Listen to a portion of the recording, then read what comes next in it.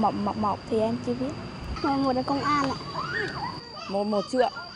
Cái đấy là cái gì đấy ạ?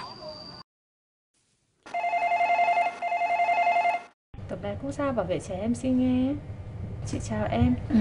Em nói rằng là năm nay em 14 tuổi. Em gặp một cái vấn đề là mình đang bị mình bị xâm hại tình dục. Có phải vậy không em?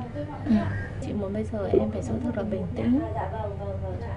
Sự việc xảy ra với mình nó không nó không phải là lỗi của em.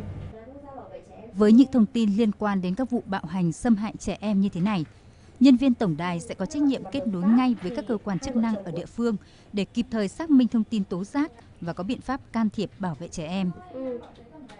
Tổng đài hoạt động từ 24 trên 24 giờ.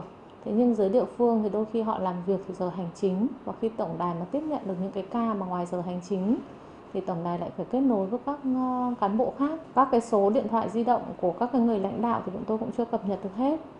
Luật trẻ em 2016 và Nghị định 56 của Chính phủ đã quy định Chủ tịch Ủy ban nhân dân cấp xã, huyện, tỉnh là người đầu tiên phải chịu trách nhiệm khi để xảy ra việc xâm hại trẻ em trên địa bàn. Song trên thực tế, trách nhiệm của người đứng đầu chính quyền địa phương cũng khá mở nhạt.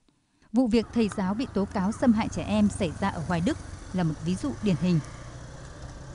Ờ, thầy giáo sau khi ờ, dạy học thì có ờ, uh, cho kẹo đấy, và cho cái vòng tay gì đó. Thế xong thì là có sờ soạn lên ngực các cháu.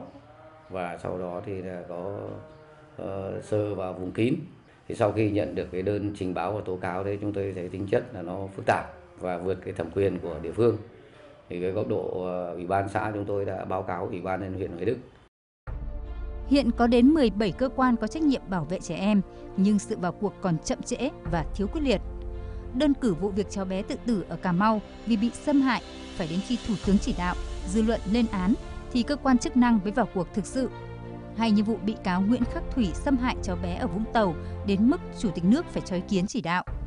Điều này cho thấy các cơ quan chưa làm hết trách nhiệm và rõ ràng công tác phối hợp đang tồn tại nhiều vướng mắc.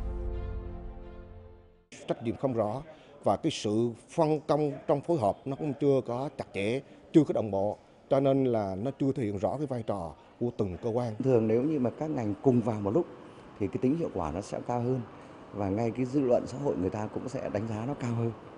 Nhưng mà do người nào trước người vào sau và chính như vậy thì cái việc vào cuộc và hỗ trợ nó chưa mang lại hiệu quả và chưa tạo nên một cái hiệu ứng nó thiếu một cái sự liên kết chặt chẽ Thực tế cho thấy sự vào cuộc chậm trễ, thiếu nhất quán của các cơ quan chức năng có nguy cơ sẽ đẩy nhiều vụ việc vào quên lãng.